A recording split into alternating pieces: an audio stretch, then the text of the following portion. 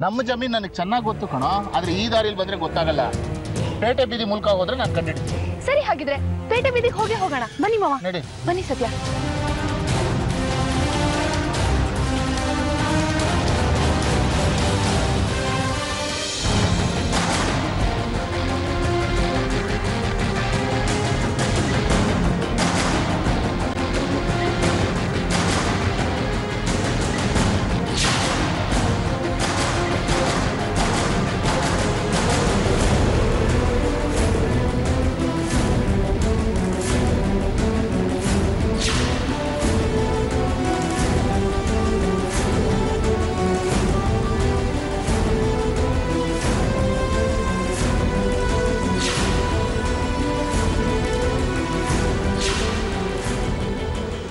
ನಮ್ಮ ಜಮೀನು.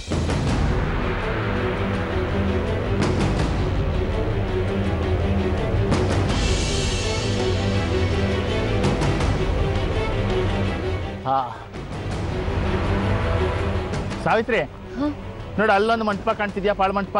ಹೌದು. ಇನ್ನೊಂದು ನೋಡ ಆ ಮೂಲೆ. ಅಲ್ಲಿ ಮಂಟಪದ ತಲೆಭಾಗ ಮಾತ್ರ ಕಾಣ್ತಿದೆ ನೋಡು ತುದಿ. ಓಕೆ? ಇನ್ನೊಂದು. ನೋಡಿ ಇಲ್ಲಿ ಆ ಬೆಟ್ಟ ತಪ್ಪ ತಪ್ಪಲಲ್ಲಿದೆ ನೋಡು. ಕಾಣಿಸ್ತಿದ್ಯಾ? ಈ ಕಡೆಗೆ ಇನ್ನೊಂದಿರ್ಬೇಕು ಹಾ. ಸತ್ಯ ಇಲ್ವಾ ಅವರಿಬ್ರು ಕುಳ್ಳಗಿದ್ದಾರೆ ಕಾಣಿಸಲ್ಲ. ಅಲ್ಲಿ ನೋಡು. ಸೀಬೆ ಮರ ಇದೆಯಾ? ಅಲ್ಲೊಂದು ಹುಣಸೆ ಮರ ಇದೆ. ಅಲ್ಲೊಂದು ಮಂಟಪ ಕಾಣ್ತಾ ಇದೆಯಾ? ಹಾ ಐತೆ. ಹಾ ಒಂದು ಎರಡು ಮೂರು ನಾಲ್ಕು. ಈ ನಾಲ್ಕು ಪಾಳು ಮಂಟಪಗಳಿರೋದು ಕಣ ನಮ್ಮ ಜಮೀನು. ನಿಮ್ಮ ಬೇಜವಾಬ್ದಾರಿಯಿಂದ ಸಂಸ್ಥಾನದ ನಿಧಿ ಹತ್ತು ಕೊಪ್ರಿಗೆ ಹೊನ್ನು ಬೇರೆಯವ್ರ ಪಾಲಾದ್ರೆ ಸಂಸ್ಥಾನ ಎಂದಿಗೂ ಕ್ಷಮಿಸೋದಿಲ್ಲ. ಹಾಗಾಗೋಕ್ ನಾವು ಬಿಡೋದಿಲ್ಲ ಮಚ್ಚ ಬಿಡೋಲ್ಲ ಅಂತ ಎಲ್ಲೋ ಹೋಗಿ ಅಡಗಿ ಕೂತ್ರೆ ಸಾಧಿಸ್ದಾಗತ್ತೆ ಅದೇನ್ ವ್ಯವಸ್ಥೆ ಮಾಡಿದ್ದೀರಿ ಅಂತ ನಮಗೂ ಗೊತ್ತಾಗ್ಬೇಕು. ಯಾವ್ದ್ಯಾವ್ದನ್ನ ತೋರಿಸಿ ನಮ್ಮ ಜಮೀನು ಅಂತೀಯಲ್ಲ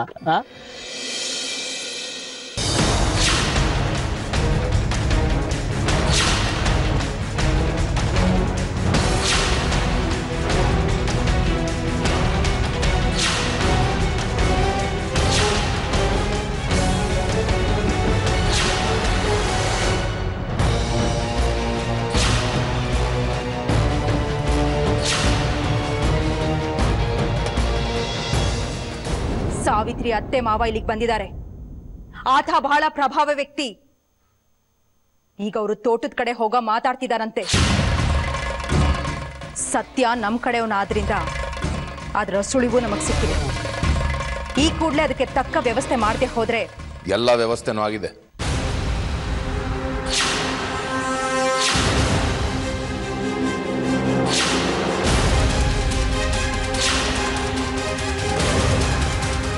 ಜಮೀನು ಸಂಸ್ಥಾನದ ಹೇಗಾಗತ್ತೆ? ಜಮೀನು ನಮ್ಮದು ಸರಿಯಾಗಿ ನೋಡಿಪ್ಪ. ಇದು ಸಂಸ್ಥಾನಕ್ಕೆ ಸೇರಿದ್ದು ಅಂತ ಬರ್ದೈತೆ. ಸತ್ಯ ನನಗೆ ಚೆನ್ನಾಗಿ ನೆನಪಿದೆ. ಆ ದಲ್ಲಾಳಿ ತೋರಿಸಿದ್ದು ಇದೇ ಜಮೀನನ್ನ. ಇಡೀ ಮೂರು ಎಕರೆ ಓಡಾಡಿ ನೋಡ್ಕೊಂಡು ನಂತರದಲ್ಲಿ ಕೊಂಡ್ಕೊಂಡಿದ್ದು. ಸಂಸ್ಥಾನದವರೇ ಮಾರಿದ್ದಾರೆ ನನಗೆ. ಸಂಸ್ಥಾನದವರಿಗೆ ಮಾರೋ ಅಂಥದ್ದು ಏನೈತೆ ಅವರಿಗೆ ಬೇಜಾನೈತೆ ಮಾವ ಇಷ್ಟು ಖಚಿತವಾಗಿ ಹೇಳ್ತಿದ್ದಾರೆ ಅಂದಮೇಲೆ ಇದು ನಮ್ಮ ಜಮೀನೇ ಇರ್ಬೋದು ರೀ. ಮಲ್ಲಿ ಹೇಳ್ತಿರ್ಲಿಲ್ವಾ ಗೌಡ್ರು ಅವ್ರ ಜಮೀನನ್ನ ತೋರಿಸಿ ನಮ್ ಜಮೀನು ಅಂತ ಹೇಳ್ತಿದ್ದಾರೆ ಅಂತ? ಅದಕ್ಕೆ ನಮ್ದಾಗ್ಬಿಡುತ್ತಾ? ಕೋಳಿ ಕೂಗೋದಕ್ಕೂ ಬೆಳ್ ಕರೆಯೋದಕ್ಕೂ ಒಂದೇ ಅನ್ನೋ ಹಾಗೆ. ಒಂದ್ ನಿಮಿಷ ಈ ಜಮೀನಿನ ಡಾಕ್ಯುಮೆಂಟ್ಸ್ ಮನೇಲಿದೆ ನಾನು ನೋಡಿ ಕನ್ಫರ್ಮ್ ಮಾಡ್ತೀನಿ. ಅದನ್ನ ನೀವು ಮಾಡ್ಲೇಬೇಕು ಮಾವ. ಆದ್ರೆ ಹೇಗಿದ್ರು ಬಂದಿದ್ದೀರಲ್ಲ ಸಂಸ್ಥಾನಕ್ಕೆ ಒಂದ್ಸತಿ ಹೋಗಿ ನಮ್ ಜಮೀನಿಗೆ ಹೇಗ್ ಮುಟ್ಕೋಲ್ ಹಾಕೊಂಡ್ರಿ ಅಂತ ಕೇಳ್ಬಿಡಿ. ನೀನ್ ಸುಮ್ಕಿರ್ತೀಯಾ ಅಂತ ದೊಡ್ಡ ಸಂಸ್ಥಾನಕ್ಕೆ ಈ ಜುಜುಬಿ ಮೂರ್ ಎಕರೆ ದೊಡ್ಡದಾ? ಅವ್ರಿಗೆ ದೊಡ್ಡ ಅಲ್ದೇ ಇರ್ಬೋದು ರೀ. ನಮಗ್ ನಮ್ ವಸ್ತು ದೊಡ್ಡದು ಇದು ನಮ್ ಹಕ್ಕು. ನೀವ್ ಕೇಳಿ ಮಾವ ಬಿಡ್ಬೇಡಿ. ಇವ್ರಂತೂ ಕೇಳಲ್ಲ. ನೋಡ್ತಿದಾರಲ್ಲ ಹೇಗ್ ಮಾತಾಡ್ತಿದ್ದಾರೆ ಅಂತ? ಮಾತಾಡೋದೆ ನಮ್ಮ ಸಂಸ್ಥಾನ ಏನೋ ನಮ್ಮ ಸಂಸ್ಥಾನ ನಮ್ಮ ಸಂಸ್ಥಾನ ಅಂತಿದ್. ಆಗಿಂದ ನಮ್ಮ ಸಂಸಾರ ಅನ್ಬೇಕಲ್ವಾ? ಆ ಸಂಸ್ಥಾನದಿಂದ ನಮ್ಗೆ ಅನ್ಯಾಯ ಆಗ್ತಿದೆ ನಮ್ ಪರವಾಗಿ ನಿಲ್ಬೇಕಲ್ವಾ ನೀನು? ಅಪ್ಪ ಅಮ್ಮಾಜಿ ಯಾರಿಗೂ ಅನ್ಯಾಯ ಮಾಡಕ್ಕಿಲ್ಲ. ಅವ್ರನ್ನ ನೀವು ತುಂಬಾ ದೂರದಿಂದ ನೋಡಿದೀರಾ. ನಾನು ತುಂಬಾ ಹತ್ರದಿಂದ ನೋಡಿದೀನಿ ಅವ್ರು ಯಾವತ್ತು ಯಾರಿಗೂ ಅನ್ಯಾಯ ಮಾಡಕ್ಕಿಲ್ಲ ಮೋಸನೂ ಮಾಡಕ್ಕಿಲ್ಲ. ಅಲ್ಲಿಗೆ? ನಮಗಿಂತ ನಿನಗೆ ಅಮ್ಮಾಜಿನೇ ಮುಖ್ಯ. ಹೌದು.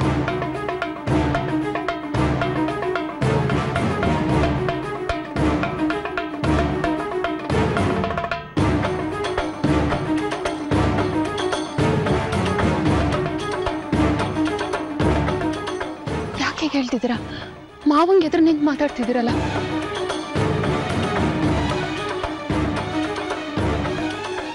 ಮಾವ ಇದ್ಯಾವ ಗೋಚರಗಳು ಬೇಡ. ನಡೀರಿ ಊರ್ಗ್ ಹೊರಟ್ಬೇಡ ನಾನು ಜೊತೆ ನಾನು ಬಿಡಲ್ಲ ದಬ್ಬಾಳಿಕೆ ಆಗಕ್ ಬಿಡಲ್ಲ. ಏನು ಮಾಡ್ತೀರಾ? ಈ ಜಮೀನು ಅವ್ರದ್ದೆ ಅಂತ ಆದ್ರೆ ಅವಮಾನ ಅಲ್ವಾ? ಅಮ್ಮಾಜಿ ಬಗ್ಗೆ ನನಗೆ ಬೋ ವಿಶ್ವಾಸ ಐತೆ. ಸತ್ಯ ಕೈ ಮುಗಿದ್? ಅವನ ನಂಬಿಕೆ ಅವನಿಗೆ ಸರಿ. ಅವನ ಪ್ರಕಾರ ಈ ಜಮೀನು ಅಮ್ಮಾಜಿಗೆ ಸಂಸ್ಥಾನಕ್ಕೆ ಸೇರಿದ್ದು ಅಲ್ವಾ? ಹೌದು. ಆ ಮಂಟಪದ ಆಚೆ ಕಾಣ್ತಿದ್ಯಲ್ಲ ಆ ಜಮೀನು ಯಾರಿಗೆ ಸೇರಿದ್ದು? ಸಂಸ್ಥಾನದ್ದು. ಈ ಮಂಟಪದ ಆಚೆಗಿರೋದು ಸಂಸ್ಥಾನದ್ದು. ಆ ಮೂಲೆ ಜಮೀನು? ಅದು ನಮ್ಮ ಸಂಸ್ಥಾನದ ಹಾಗಿದ ಮೇಲೆ ಎಲ್ಲಾ ಜಮೀನು ಖಾಲಿ ಇದೆ. ಈ ಜಮೀನಲ್ಲಿ ಮಾತ್ರ ಯಾಕೆ ಬೋರ್ಡ್ ಇದೆ? ಈ ಸ್ವತ್ತು ಸಂಸ್ಥಾನಕ್ಕೆ ಸೇರಿತ್ತು ಅಂತ.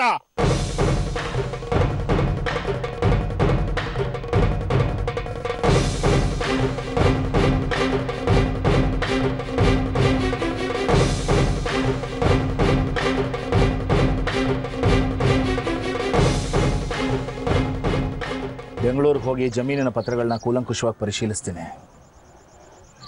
ಆದರೆ ಅದಕ್ಕೆ ಮುಂಚೆ ಸಾವಿತ್ರಿ ಹೇಳಿದಾಗೆ ಸಂಸ್ಥಾನಕ್ಕೆ ಹೋಗಿ ಅಮ್ಮಾಜಿನ ಕೇಳ್ತೀನಿ, ಅದು ಹೇಗೆ ಬೋರ್ಡ್ ಹಾಕಿದ್ರು ಅಂತ. ನಡೀರಿ ಸಂಸ್ಥಾನಕ್ಕೆ.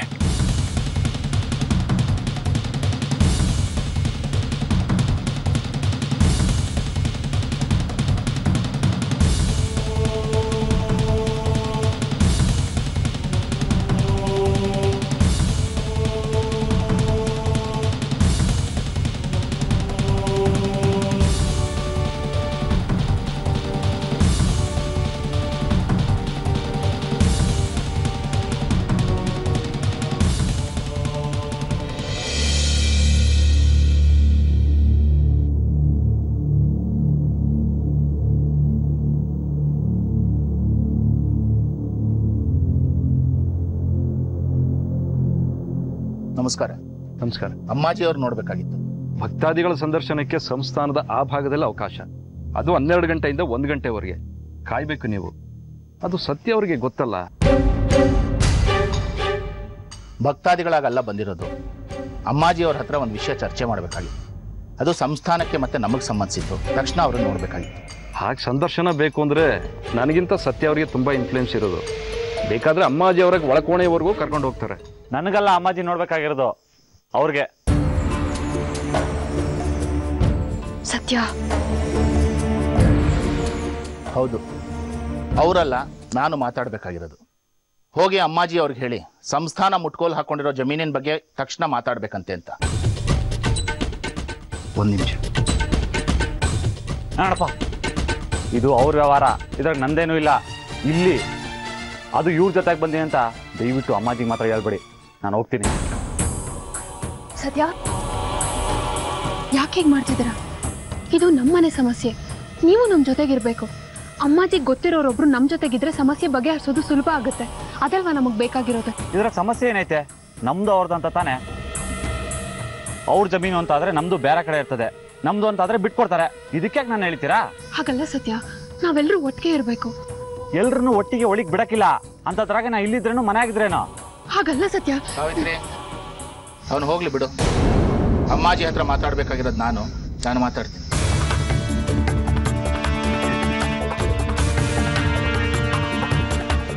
ತಾವು ದಯವಿಟ್ಟು ಕರೀರಿ.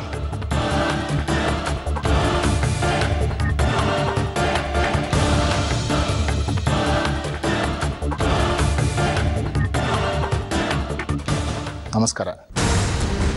ಸಂಸ್ಥಾನಕ್ಕೆ ಬಂದವರು ಅಮ್ಮಾಜಿ ಪಾದಕ್ಕೆ ನಮಸ್ಕರಿಸಿ ಆಶೀರ್ವಾದ ತಗೊಂತಾರೆ.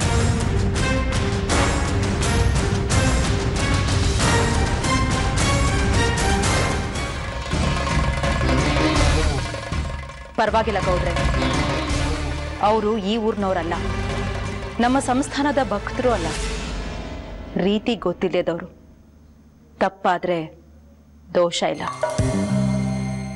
ಕೂತ್ಕೊಳ್ಳಿ. ಥ್ಯಾಂಕ್ ಯು ಹೇಳಿ. ಬಂದ ವಿಷಯ? ಕಳೆದ ವರ್ಷ ನಾನು ಈ ಊರಿನಲ್ಲಿ ಒಂದು ಜಮೀನು ತಗೊಂಡಿದ್ದೆ. ಈ ಸಂಸ್ಥಾನಕ್ಕೆ ಸೇರಿದ ಜಮೀನು. ಒಂದು ಮೂರು ಎಕರೆ. ತಾವೇ ರಿಜಿಸ್ಟರ್ ಮಾಡಿಕೊಟ್ಟಿದ್ದೀರಿ. ಸಬ್ ರಿಜಿಸ್ಟ್ರಾರ್ ಅವರು ಬಂದು ತಮ್ಮ ಸಹಿ ಪಡ್ಕೊಂಡು ಬಂದಿದ್ರು. ನಾನು ಬಂದಿರಲಿಲ್ಲ. ಹಾಗಾಗಿ ತಮ್ಮ ಭೇಟಿ ಆಗಿರಲಿಲ್ಲ. ನಾನೇ ಇದ್ನಲ್ಲ. ತಾವೇ ನನಗೆ ಎಪ್ಪತ್ತು ಲಕ್ಷ ಡಿ ಡಿ ಕೊಟ್ಟಿದ್ದು. ಹೌದು. ಕಾನೂನಿನ ಪ್ರಕಾರ ನನ್ನದಾದ ಜಮೀನಿಗೆ ಸಂಸ್ಥಾನದ ಸ್ವತ್ತು ಅಂತ ಬೋರ್ಡ್ ಹಾಕಿದ್ದೀರಿ. ಹೌದು. ಸಂಸ್ಥಾನಕ್ಕೆ ಈಗ ಜಮೀನು ಅಗತ್ಯ ಆಯ್ತು. ವಾಪಸ್ ಪಡೆದಿದೆ ಅದು ಹೇಗೆ ಸಾಧ್ಯ? ನಮ್ಮ ಅನುಮತಿ ಇಲ್ಲದೆ ನಮ್ಮಿಂದ ವಾಪಸ್ ಪರ್ಚೇಸ್ ಮಾಡಿದ ಹೊರತು ಅದು ನಿಮ್ಮದಾಗಲ್ಲ. ಈ ಊರು ಸಂಸ್ಥಾನ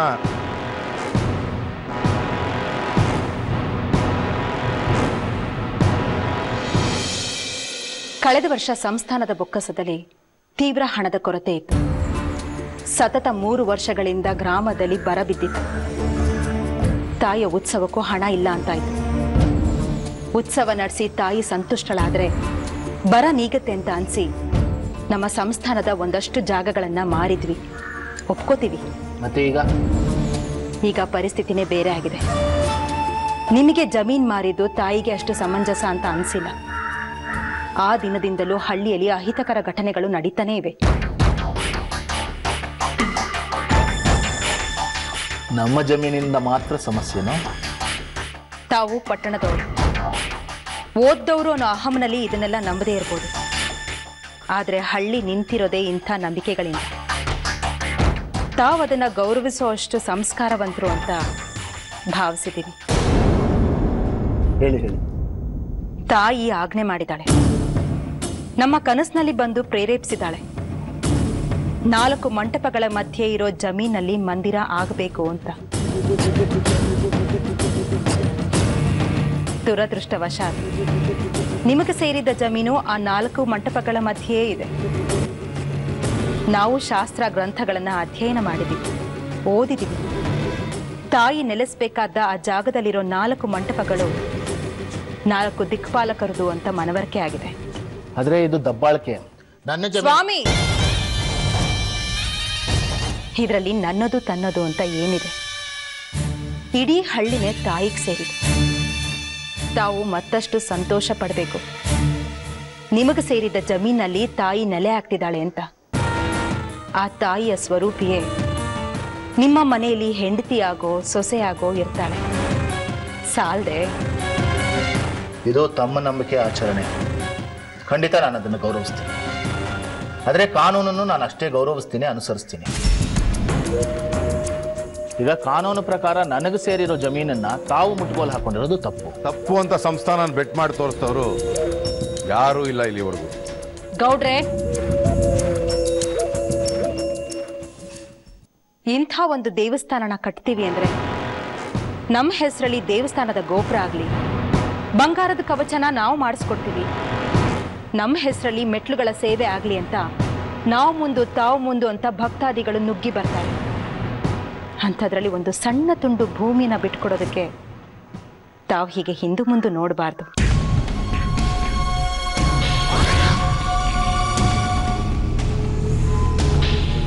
ಬೇಕಾದ್ರೆ ದೇವಸ್ಥಾನದಲ್ಲಿ ನಿಮ್ಮ ಪರಿವಾರದವರ ಮೂರ್ತಿಗಳನ್ನು ಸ್ಥಾಪಿಸೋಣ. ತಿರುಪತಿಯಲ್ಲಿ ಶ್ರೀ ಕೃಷ್ಣದೇವರಾಯನ ಮೂರ್ತಿಯನ್ನ ಸ್ಥಾಪಿಸಿದ ಹಾಗೆ. ಆಗಬಹುದಾ? ಇದಕ್ಕಿಂತ ಶಾಶ್ವತವಾದ ಇನ್ನೇನಿದೆ ಒಪ್ತಾರೆ ಬಿಡಿ. ಅದನ್ನ ಹೇಳಬೇಕಾದವರು ಅವರು. ಅವ್ರ ಮನೆಯವ್ರ ಜೊತೆ ಸಮಾಲೋಚಿಸಿ ತಿಳಿಸ್ತಾರೆ. ಅಲ್ವೇ? ತಮ್ಮ ನಾಮಾಂಕಿತದ ಪರಿಚಯವಾಗ್ಲಿಲ್ಲ.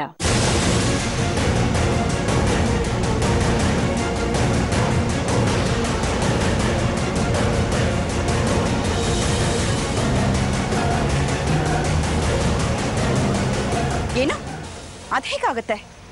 ಯಾವ್ದಾದ್ರೂ ಜಾಗನ ನೋಡ್ಕೊಳ್ಳೋದಕ್ಕೆ ಯಾರು ಇಲ್ಲ ಅಂತಂದ್ರೆ ಸಂಸ್ಥಾನದವರು ಬೋರ್ಡ್ ಹಾಕೊಂಡ್ ಬಿಡೋದಾ? ಇಲ್ಲಿ ನ್ಯಾಯಾಗಿಯ ಏನು ಇಲ್ವಂತ? ಇಲ್ಲ ಇಲ್ಲಿರೋದು ಧರ್ಮ ಅಷ್ಟೇ. ಅದನ್ನ ಅಮ್ಮಾಜಿ ಕಾಯ್ತಾರೆ. ಪೊಲೀಸ್ನವರು ಅಂತ ಈ ಊರಿನ ಇತಿಹಾಸದಲ್ಲೇ ಕಂಡಿಲ್ವಂತೆ. ಅದೇನೇ ಇರಬಹುದು ಆದ್ರೆ ಬೇರೆಯವ್ರ ಜಮೀನನ್ನ ನುಂಗ್ಕೊಳ್ಳೋದು ಅಂತಂದ್ರೆ? ಸುಶೀಲ್ ನೀವ್ ಹೋಗಿ ಅಮ್ಮಾಜಿ ಹತ್ರನೇ ಮಾತಾಡಿ. ನಾವೆಲ್ಲರೂ ಹೋಗಿದ್ವಿ ಅದೇ. ಮಾವನೇ ಅಮ್ಮಾಜಿ ಹತ್ರ ಮಾತಾಡಿದ್ರು. ಹೌದೇನ್ರಿ? ಏನಂದ್ರು ಅಮ್ಮಾಜಿ? ಅಲ್ಲಿ ಅಮ್ಮನವ್ರ ದೇವಸ್ಥಾನ ಕಟ್ಟಬೇಕು ಅಂತ ಅಮ್ಮಾಜಿಗೆ ತಾಯಿಯಿಂದ ಪ್ರೇರಣೆ ಆಗಿದೆಯಂತೆ. ಹೇಳಿರಿಲ್ವಾ? ಕಾರಣ ಇಲ್ಲದೆ ಯಾವುದನ್ನು ಸ್ವಾಧೀನ ಮಾಡ್ಕೊಳಕಿಲ್ಲ ಅಂತ.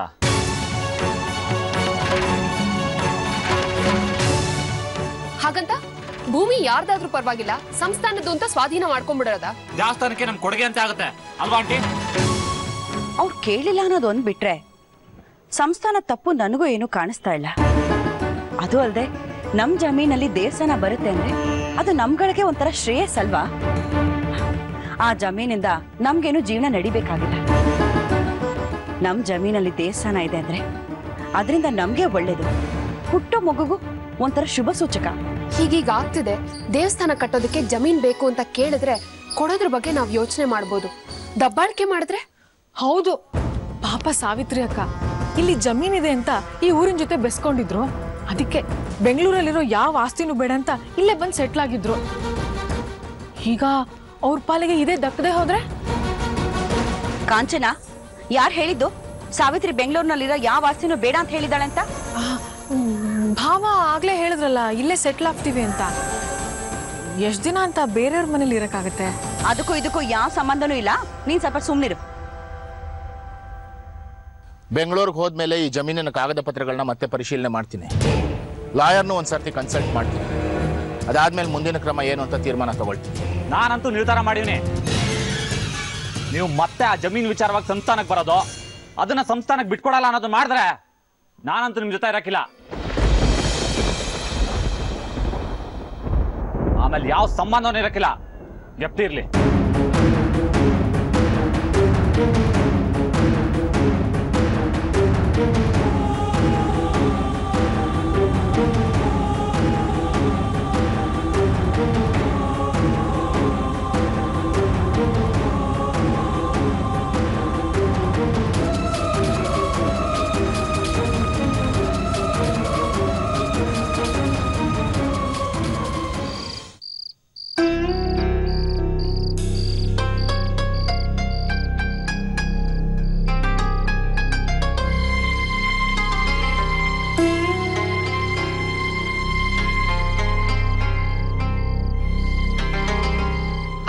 ಬರ್ತಾರೆ ಅಂತ ಎಷ್ಟು ಖುಷಿ ಪಟ್ರಿ.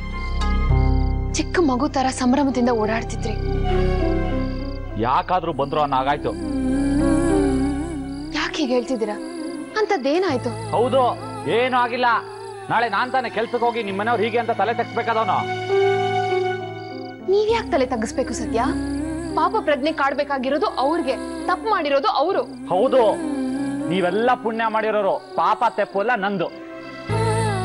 ಈಗ ನಿಮಗ್ ಯಾರ್ ಏನಂದ್ರು? ನೀವ್ ಯಾಕೆ ಸಂಸ್ಥಾನ ಜೊತೆ ಗುರ್ತಿಸ್ಕೋಬೇಕು? ನೀವು ನಮ್ಮವರು ಮನೆ ಹಿರಿ ಮಗ. ನೀವು ಮೊದಲು ನಮ್ ಜೊತೆ ಗುರ್ತಿಸ್ಕೋಬೇಕು. ಹೇಳಕ್ ಚಂದ. ನನ್ನ ಜಾಗದಲ್ಲಿ ಇದ್ದಿದ್ರೆ ಗೊತ್ತಾಗಿರೋದು. ಅಷ್ಟೊಂದು ಕಷ್ಟ ಆಗ್ತಿದೆ ಅಂದ್ರೆ ಬಿಟ್ಬಿಡಿ.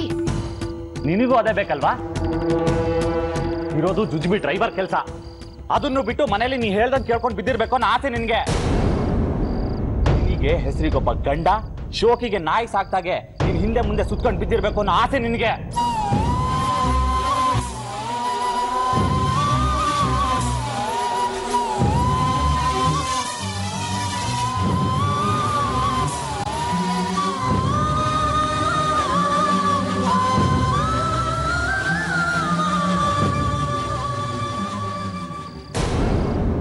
ಯಾಕೆ ಹೀಗಾಗಿದ್ದೀರಾ? ನಾವ್ ಯಾವತ್ತಾದ್ರೂ ನಿಮ್ಮನ್ನ ಹಾಗೆ ನಡೆಸ್ಕೊಂಡಿದ್ದೀವ. ನಾನ್ ಯಾವತ್ತಾದ್ರೂ ನಿಮ್ಮನ್ನ ಕೀಳು ನಿಮ್ ಕೆಲ್ಸ ಕೀಳು ಅಂತ ನೋಡ್ಕೊಂಡಿದ್ದೀನಿ. ಅರ್ಥ ಆಗಲ್ಲ ಅನ್ಕೋಬೇಡ. ಈಗ ಗೊತ್ತಾಗ್ತೈತೆ. ಸದ್ಯ ಮಾವ ಇದ್ದಾಗ ನೀವ್ ಈ ತರ ಮಾತಾಡ್ಲಿಲ್ಲ. ಎಷ್ಟು ನೊಂದ್ಕೊಂಡಿರೋರು ಅವ್ರ ನೋವಿಗೆ ಬೆಲೆ. ಯಾಕೆ? ಓದಿರೋರು ದೊಡ್ಡವರು ಅಧಿಕಾರ ಇರೋರು. ಆದ್ರೆ ನಾವು ಬಿಕಾರಿಗಳು ಸತ್ಯ ಪ್ಲೀಸ್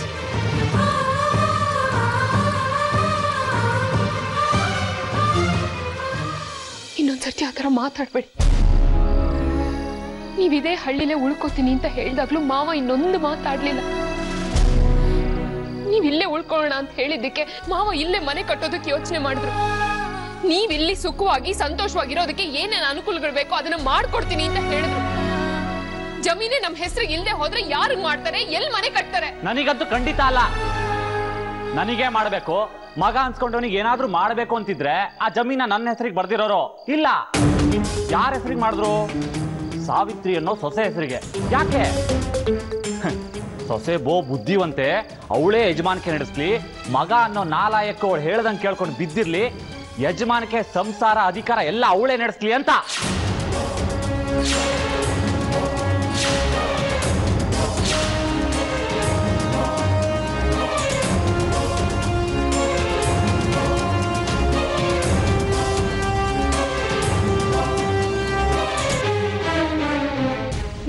ಯೋಚನೆ ಮಾಡ್ತೀರ? ನಿಮ್ ಮನ್ಸಿನಲ್ಲಿ ಯಾರೋ ವಿಷದ ಬೀಜ ಬಿತ್ತಿದ್ದಾರೆ ಸತ್ಯ. ಹೌದಲ್ಲ? ನಿನ್ನ ಪ್ರಕಾರ ನನಗೆ ತಿಳುವಳಿಕೆನೆ ಬರಬಾರ್ದಾಗಿತ್ತು. ಬರ್ದೇ ಇರದೆ ಒಳ್ಳೇದೇನೋ. ತಿಳುವಳಕಿನ ಶಾಪನೇ.